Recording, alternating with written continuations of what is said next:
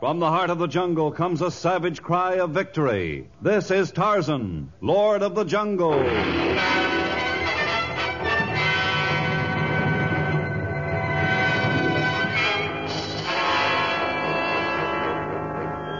From the black core of dark Africa, land of enchantment, mystery, and violence, comes one of the most colorful figures of all time, transcribed from the immortal pen of Edgar Rice Burroughs. Tarzan, the bronzed white son of the jungle. And now, in the very words of Mr. Burroughs, the story of headhunters of Yambesi.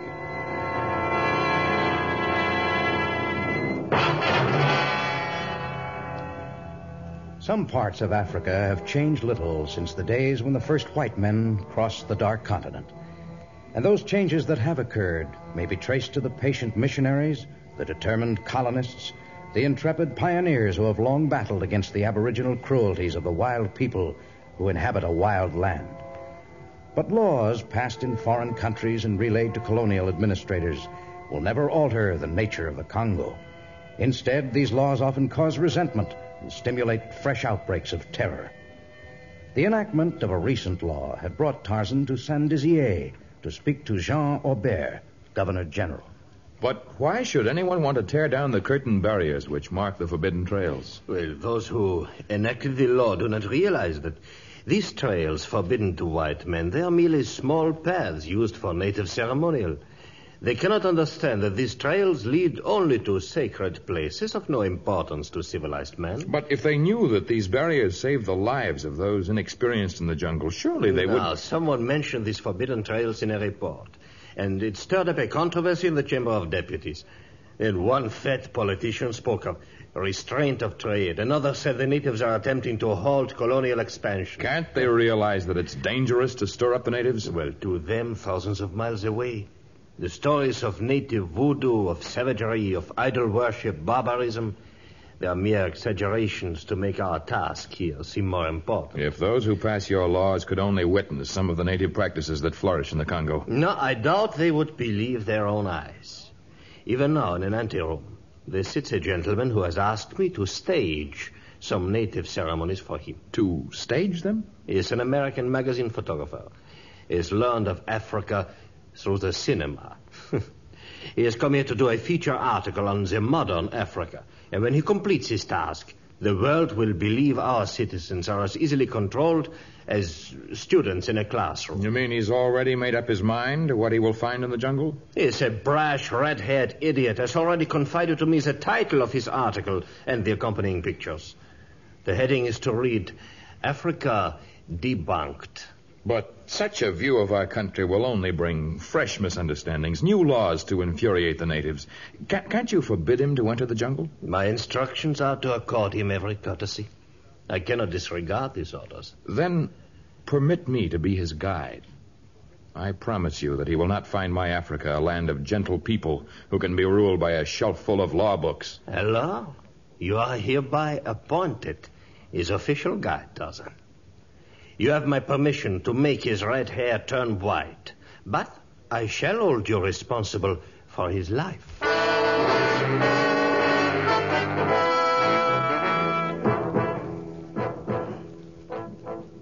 Monsieur Tarzan, Monsieur Red Hale. First time you ever saw red Hale, huh? Usually it's white. Uh, I'm happy to see you have a sense of humor, Mr. Hale. You're apt to need it before we return to Saint Dizier. well, I'm game. Yeah, nothing surprises me. Not even that leopard skin you're wearing. hey, where'd you get it? From the good old USA by mail order? This is the skin of a leopard who was about to rend a native child limb from limb.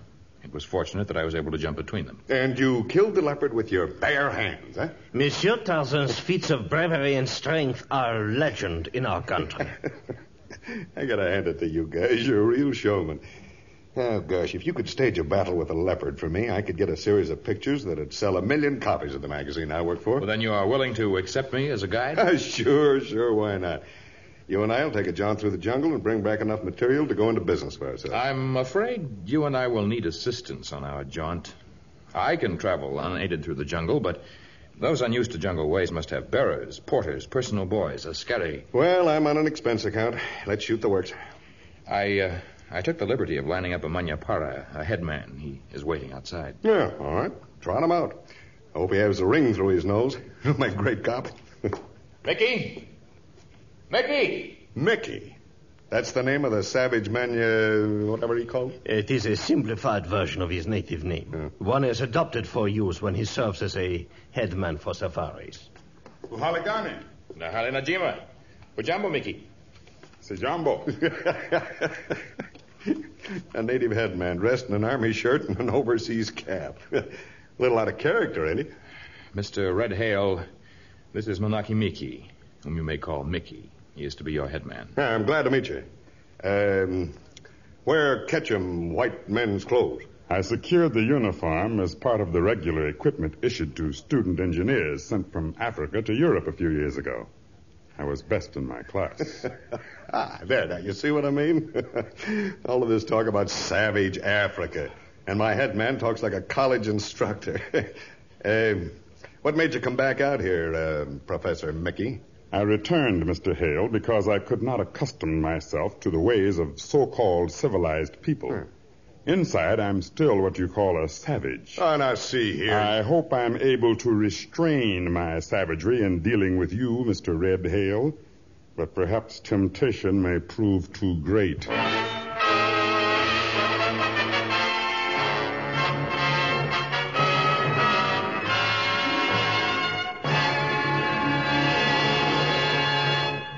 In just a moment, we will learn what adventures befall Mickey, Red Hale, and Tarzan when they plunge into the jungle.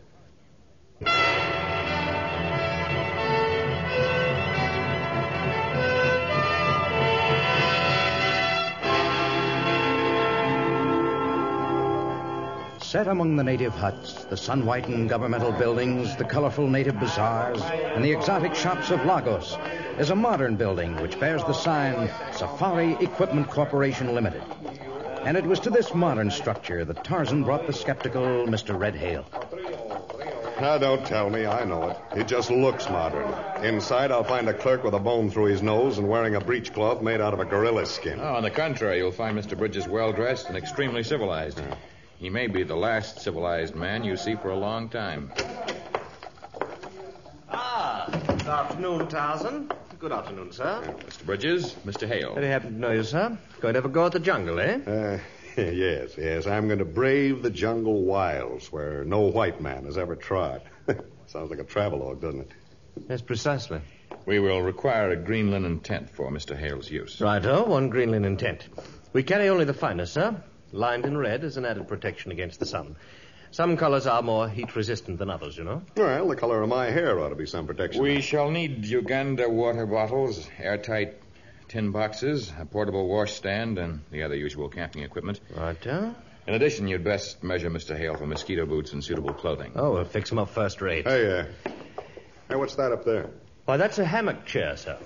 Oh, one of those things they carry you in, huh? That's right, sir. Two porters carry the chair suspended between them. Mm-hmm.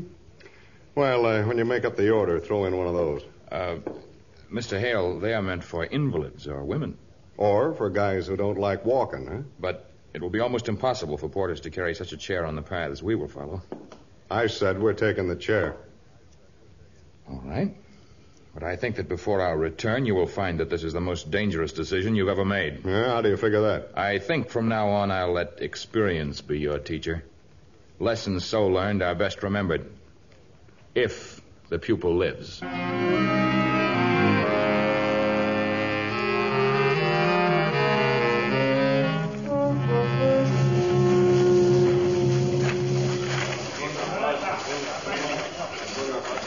Porters and bearers are already complaining, Tarzan. I know it's most difficult to carry Mr. Hale in his hammock chair. I don't know what we can do about it yet.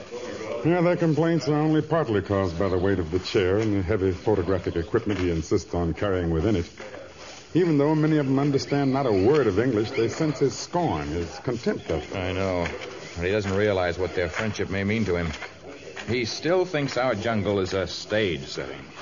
But during the past few days, dozens of ferocious animals have come within a few feet of him. His eyes might well be those of a newborn baby who's not yet learned to use them. He's seen neither the animals nor the unfriendly tribesmen who have peered at him from behind every bush. Hey, are you two going to gab all day, or are you going to dig me up something to get some decent pictures out? Tarzan, there's only one thing to do. Scare him so badly his ideas and his manners will change. Oh, that's exactly what I have in mind. Even if I have to assist nature. Hey, hey, hey, I heard that. I'm wise to your game. Now, let me tell you this. There isn't anything you can roll out that'll scare me. I don't scare easy. I'm sure you're very brave, Mr. Hale. Now, hey, you guys, hey, just keep this chair moving along. When I want to slow up, I'll tell you. Perhaps it would be good to let the Wampagazee rest here, Tarzan. No, Mickey, the porters must go on for now. I've caught the scent of an elephant herd, and at this time of the year they can be Elephants, eh? Well, let's head for them. Might be able to get some good pictures for a change. The season is a dry one. If they hunt for water, they might be. You heard me. I'm footing the bills for this safari. Now get going.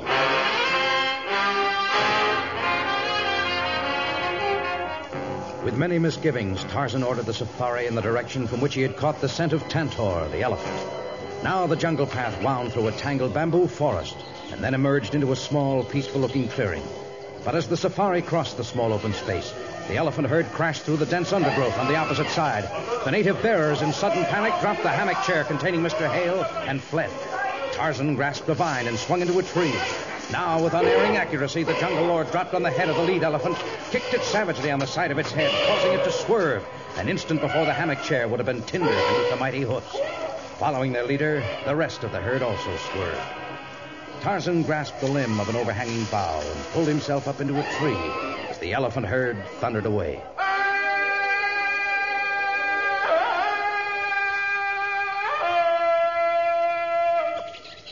Well, Mr. Hale, are you satisfied now that Tarzan and I have not been lying to you about the dangers of the jungle? Oh, gosh, did I get some wonderful shots of that stampede. They're worth their weight in gold. Are you all right, Mr. Hale? Eh? sure, sure, I'm all right, Tarzan. I told you I don't scare easy. Unfounded courage is often stupidity. You're like a baby ape who attempts to attack a panther. Yeah, maybe so, except that I've never seen an ape with red hair. well, tell the boys to come out from behind those trees. I'd like to reach our camping place early tonight so I can try to develop a couple of these pictures. Well, what's holding things up? The porters and bearers have deserted us, Mr. Hale. The, uh, the what? Even before you needlessly endangered their life by insisting on crossing a path of an elephant herd, they spoke among themselves of refusing to serve you further. Did you know about this, Tarzan? I did not know they'd run off taking all our food and equipment, but I was aware they might desert. Well, when, why didn't you do something about it? I permitted experience to give its first lesson. And now, if you can tear yourself from that chair, we shall walk from here. Uh, okay, okay. Although you may not realize it, the chair you insisted on buying might have been the cause of your death. Had you been walking, you could have leaped for the protection of the trees, as the natives did. Then I wouldn't have gotten my pictures. Oh, uh, here, Mickey. You carry the camera. Treat it tenderly now. Tarzan, you carry the knapsack with my darkroom supplies. And what will you carry? Myself. Uh, Hey, aren't those our boys hiding in the bushes over there? Oh, your eyesight is improving. A few days ago, you would not have known anyone watched us from the edge of the clearing. Hey, hey, you guys. If you think for one minute that I'm going to stand. They are not our boys, Mr. Hale. Huh? They're members of the Yambesi tribe. This is their land. Okay, we'll put a few of them on the payroll then. And I won't have to leave my chair behind. I'm afraid it would be unwise to hire Yambesi natives, even if they're willing. In the name of heaven, why not? They are cannibals and headhunters. Oh, no, no. You're not going to try to feed me that junk again. Hey, hey, you! Nina Kuja, Bwana. What did he say? He's their chief, and he says he's approaching you and brings his men. No.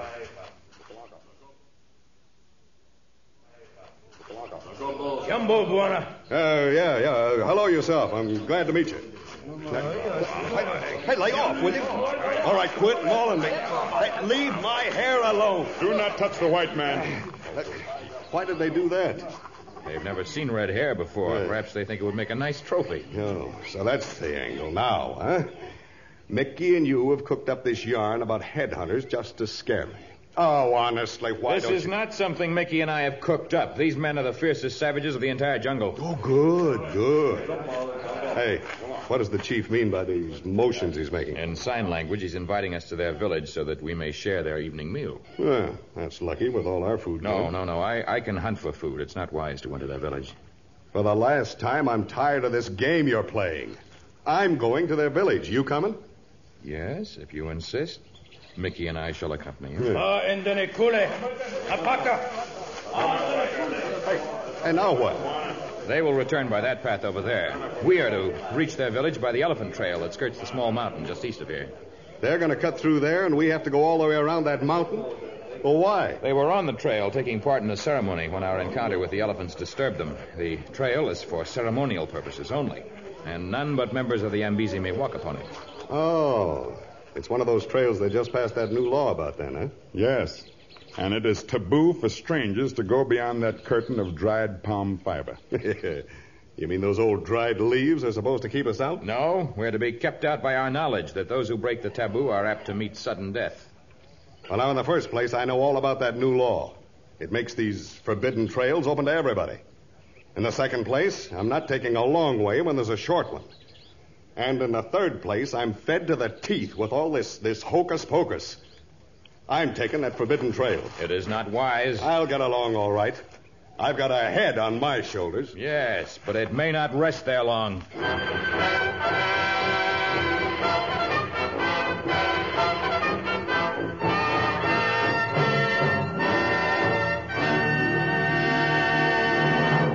In just a moment, we shall learn the fate of Red, Mickey, and Tarzan in the village of the headhunters of Yambesi.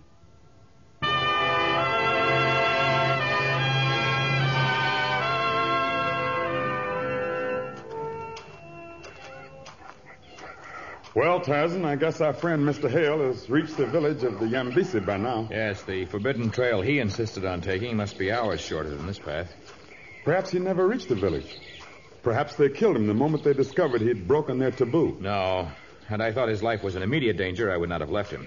The Governor General is holding me responsible for his life, after all. Well, then you're counting on the Yambesi to spend more time celebrating before they kill him, huh? It is the way of all tribes, is it not, Mickey? Yes, but when his time comes, how will you save him? I may not. But your promise to the Governor General, you said. Mickey, more sacred than anything is my love of the jungle and its people. Even these savage Yambesi who merely follow the teachings of their fathers. And if Red Hale continues to scoff, if he uh, writes an article that will cause more ridiculous laws to be passed, the jungle people will suffer? Is that what you mean? Exactly. Until Mr. Hale shows fear, until he has learned to respect the ways of the jungle, I cannot help him. I believe there's more savagery left in you than there is in me. Perhaps. Come, Mickey. We're reaching the edge of the village here.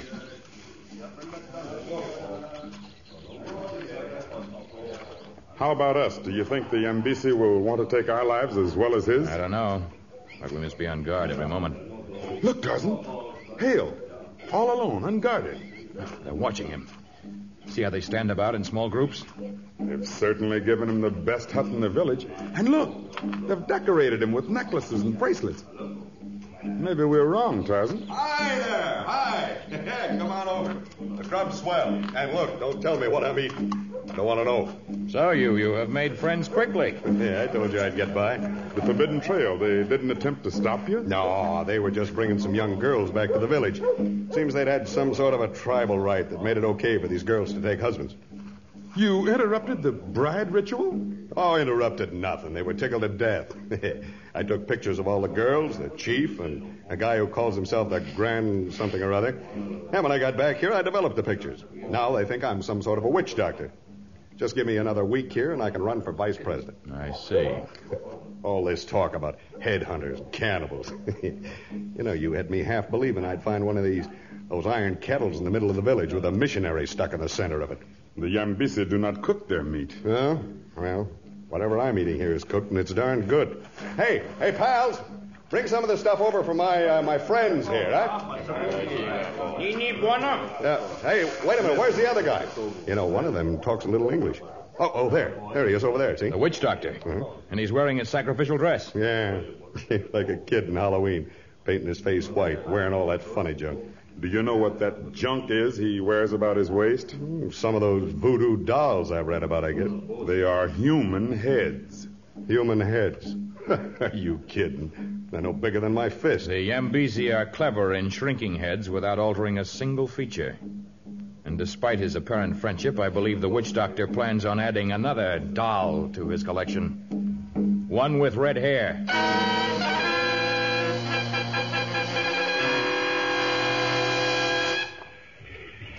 Well, Mickey, despite the witch doctor's sacrificial costume and the ceremonial dress of the entire tribe, they haven't given any indication at all of meaning harm to him. Eh, he's smarter than we've given him credit for. It's been the pictures.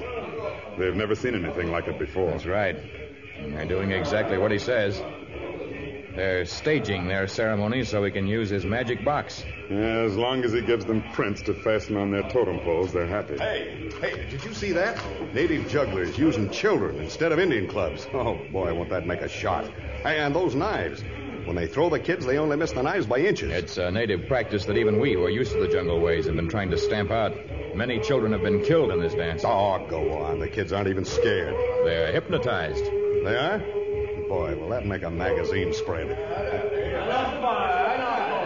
Yeah, nice going there, Yambeses. And now, uh, now trot out the next act, eh? Now the snake charmer is to perform for you. Huh? It's developing into a three-ring circus. Hey, what are those guys doing? Passing needles and hooks and pins into their bodies? Yeah? Hey, hey, Mickey, hand me that pouch with my flash bulbs in them. Oh, boy, this is great. They are holy men who torture their bodies in the belief they will earn absolutions from all their sins and be rewarded with eternal happiness. Well, I'll reward them with some candid camera shots of the rack. Hey, uh, hand me that small box with my light meter in it, will you? Hurry. Yes. There you are. Yeah, that's it. Now, now the knife dances begin. Yeah, with all this material around, I need six cameras and a dozen hands. I'll hold that bag with the spare film in it. No, no, I'll just toss it in this stone over here. No, no, Mr. Hale. No, that's their sacred rock. It's just a brown stone to That me. stone is granite. It is brown from bloodstains. Yeah, well, it's well dried in. It won't hurt the film any. Man with red hair, you defile sacred rock. Oh, come on now, come on. Let's keep the show going. Much we let you do. Walk forbidden trail. See maidens at bridal rite, enter tribal circle is enough. Now you defile sacred Oh, stone. now, wait, wait. Take it easy now. I'll develop these pictures in the morning, and you'll have Answer! Answer! Well, Mr. Hale, I think you've finally done it. Huh? I've done what? You finally persuaded them to prove to you the savagery of the jungle. Now, you're you're still trying to scare me, aren't you? Why, why did they quit the racks? They're preparing a new one now. They sing about it. Well, What are they singing about? Native tribes make up their songs as they go along. This one tells how a Matuhodari, a clever man, came to their village and made them small and flat. That's how they describe the pictures you've taken. Yeah?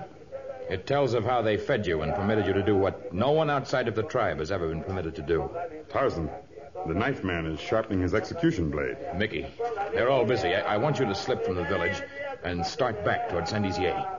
No. We will try to meet you on the trail. No, I'll stay as long No, as. go, go. I, I can travel more quickly than you, even if I'm to carry Mr. Hale. Leave now. Well, well, all right. I wish you well, Tarzan. I, I, I'm still not falling for this racket. The, the knife man. You, you, you've arranged all this with the Yambesi. They, they, what are they? What are they saying in that song now? That none, not even the members of their tribe, not even their own chief, may place anything except a human head on the sacred rock. Tarzan. Tarzan, they, look, they're coming this way. The, the one with the green painted face does have a knife. It's as sharp as a surgeon's scalpel. I will stand by your side until the Well, look, look, they're not kidding. They're, they're walking slowly, but they mean business. They do indeed. Yeah. Yeah, no, no, it's too late. We, we can't escape. Perhaps not. Tarzan, Tarzan, do something. Help me. Save me. Tarzan, save me.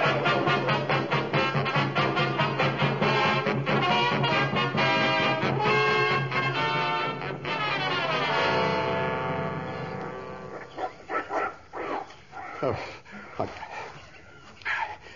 I've never been so scared in my life.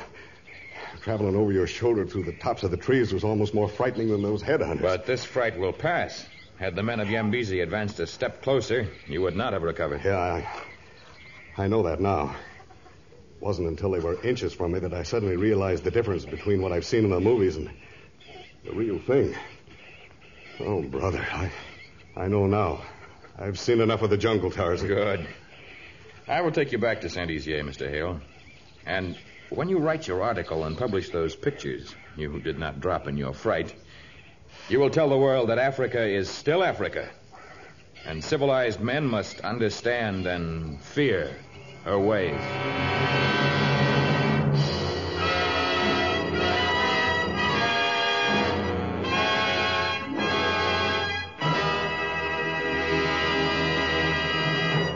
We'll return in just a moment to tell you about our next story of Tarzan.